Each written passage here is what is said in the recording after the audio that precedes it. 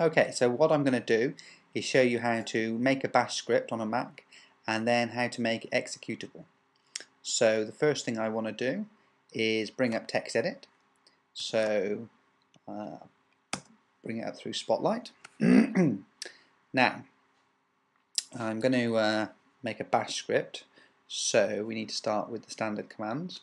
So we do Alt 3, which is the way you get a hash symbol on a Mac, exclamation mark, forward slash bin forward slash bash. And then we'll just do the most basic of uh, commands. Uh, we'll do hello from Gala Technology. G. Okay, now as you can see here, it is um, we've got the formatting options here. We don't want those, we just want to make it plain text. We don't want to save anything outside of the script with along with it. So go to File, choose Save As, okay. We don't want to save it as a text file at all. We just want to save it uh, where we'll call it uh, know, first script. Okay and we'll save it to my my home folder. Click save. Okay so if we go down to Finder we can see there we go there's our first script. Okay now what I'm going to do is I'm going to get the info on it. Okay and let's look at the permissions because permissions are very important when you're making uh, an executable command. Now, what this has at the moment is it has read-write permissions for myself and read-only for everybody else. What it doesn't have is executable permissions. So what we want to do is we want to set that to executable. Now, I you cannot change the executable um, there's no option here. We've just got read write and read only. We don't have executable here. So in order to do that, we're going to have to go into the terminal. So using Spotlight again, we'll bring up the terminal.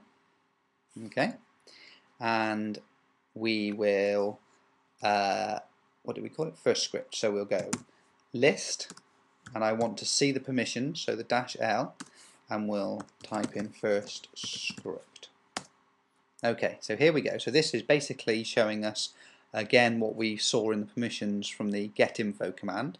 Okay, the ignoring the first one, we've got them in groups of three. So we've got read, write, dash. We want an execute there, and then groups have got read, write, have got read only. So read, dash, dash, and everyone has got read only. So read, no write, no execute. Okay, so what we'll do is we're going to change that. Now the easiest way, so we use the ch the chmod command, okay, and if we use the, the number 700, that will give us a read, write, execute for myself only, and it will set the um, it will set the permissions for the other ones for no read and no write for the other groups and everybody else. And then we say the name of the um, script we want to change. Now I'm just going to move this so we can just see the script just above it. Okay, so I'm chmod, the number 700, first script. Just going to hit return. And did we see that in the background there, the um, the script has changed, and we can now see it's executable. Okay, so now if I now type first script, I get the command not found because it's looking in the bash folder for it. So what I have to do is I have to tell it to search in the local folder, the folder we're in, which is that command there, and now I can type in first script and we get hello from Gala Technology. So that is how you create a bash script and then make it executable on a Mac.